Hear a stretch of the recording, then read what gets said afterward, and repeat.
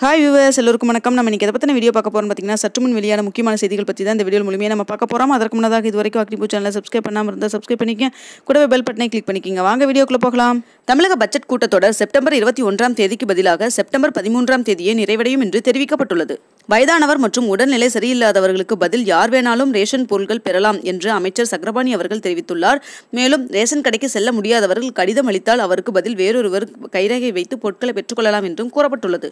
தமிழகத்தில் மூன்று ராஜ்யசபா இடங்கள் காலியாக உள்ள நிலையில் ஒரு இடத்தில் செப்டம்பர் பதிமூன்றாம் தேதி தேர்தல் நடைபெறும் என்று இந்திய தேர்தல் ஆணையம் அறிவித்துள்ளது. கைதியில் ஏற்பட்ட சக்தி வாய்ந்த நிலநடுக்கத்தால் வீடுகள் கட்டிடங்கள் இடைந்து விழுந்ததில் ஆயிரத்தி நானூறு பேர் பலியானதாக தகவல் வெளியாகியுள்ளது. டீசல் விலை உயர்வால் போர்வெல் வாகன உரிமையாளர்கள் வேலை நிறுத்தத்தில் ஈடுபட்டுள்ளனர். இதன் காரணமாக இரண்டாயிரம் தொழிலாளர்களுக்கு வேலை இழப்பு ஏற்பட்டுள்ளது.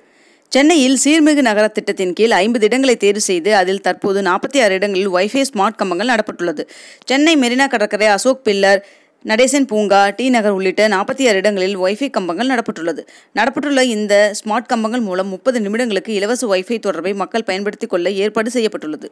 தமிழ்நாடு மத்திய பல்கலைக்கழகம் உள்ளிட்ட பனிரெண்டு மத்திய பல்கலைக்கழகங்களில் சேர பொது நல் நுழைவுத் தேர்வு நடத்தப்பட உள்ளது. மேலும் இத்தேர்வானது செப்டம்பர் மாதம் பதினைந்து பதினாறு இருபத்தி மூன்று மற்றும் இருபத்தி நான்காம் தேதியில் நடத்தப்பெற உள்ளது என்றும் தெரிவிக்கப்பட்டுள்ளது.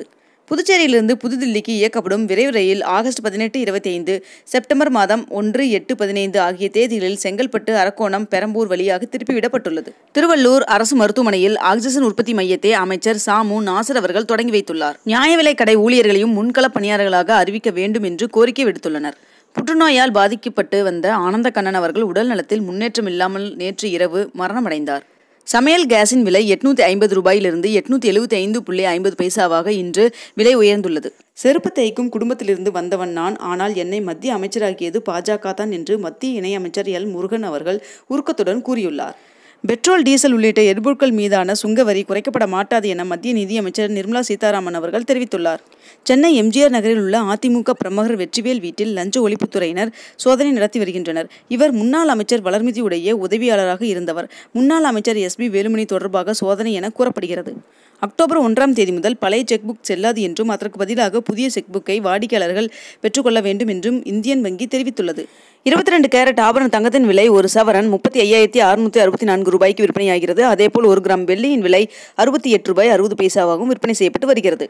இந்த வீடியோ உங்களுக்கு பிடிச்சிருக்கும் நினைக்கிற மேலும் பயனுள்ளதாக இருந்திருக்கும். பிடிச்சிருந்தா லைக் பண்ணுங்க ஷேர் பண்ணுங்க. மேலும் இது போன்ற தகவலை உடனுக்குடன் தெரிந்து கொள்ள அக்னிபூ சேனல் மறக்காம சப்ஸ்கிரைப் பண்ணிக்கோங்க. கூடவே பெல் பட்டனை கிளிக் பண்ணிக்கோங்க. ஓகே விவர்ஸ் நெக்ஸ்ட் வீடியோவில் பார்க்கலாம்.